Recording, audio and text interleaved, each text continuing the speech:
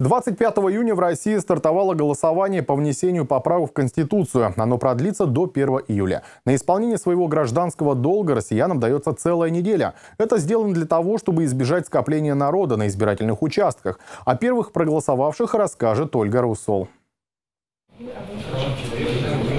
Одним из первых сегодня свой гражданский долг отдал временно исполняющий обязанности главы региона Юрий Бездудный. Каждый гражданин имеет возможность проголосовать в течение всей этой недели, включая первое число. Я уже проголосовал. Изменения в основной закон, они э, защищают духовные и семейные ценности, гарантируют индексацию пенсий, социальных выплат, а уровень э, минимальной заработной платы не ниже прожиточного минимума. Поправки укрепляют суверенитет нашей страны потому что международное право не должно иметь приоритет над российскими законами.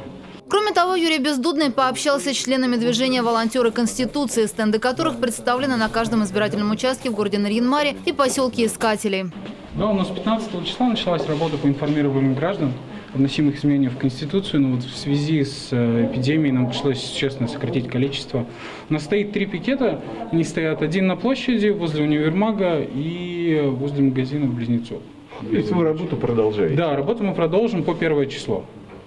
Глава региона также призвал всех жителей Ненецкого округа не тянуть до последнего дня, а голосовать в течение недели, чтобы максимально разгрузить день общероссийского голосования. С 25 по 30 июня с 12 до 8 вечера. И 1 э, э, числа, единый день голосования, значит у нас с 8 до 8 вечера. Поэтому наша съемочная группа отправилась на избирательный участок выразить свою гражданскую позицию. Температурный контроль при входе, обработка антисептиком, одноразовые перчатки и маска. Специальный коврик для обеззараживания подошвы. Также каждый избиратель получает индивидуальную шариковую ручку.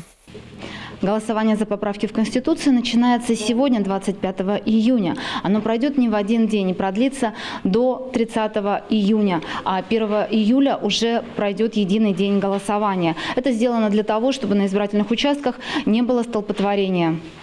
Сверка паспортных данных и подписи при получении бюллетеня с соблюдением санитарного дистанцирования. Кроме того, пол на избирательном участке поделен на специальные зоны, которые позволяют сохранять дистанцию между избирателями. К моменту открытия участка у нас стояли люди, э, желающие проголосовать. Буквально сразу в 12 минутами проголосовал первый. Сейчас вот вы 18 -е. Да, за 3 часа 17 человек прошло. За ходом голосования следят общественные наблюдатели. По словам Виктории Кузьминой, на веренном ей участке нарушений замечено не было. Мне хотелось как-то выразить свою гражданскую позицию, не только проголосовав, но и понаблюдать, как остальные люди это делают, как проходит этот процесс со стороны.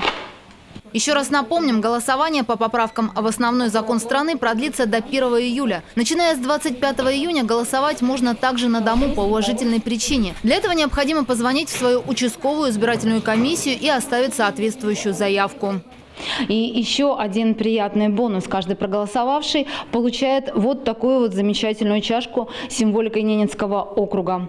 Ольга Русул, Вадим Носкин, телеканал «Север».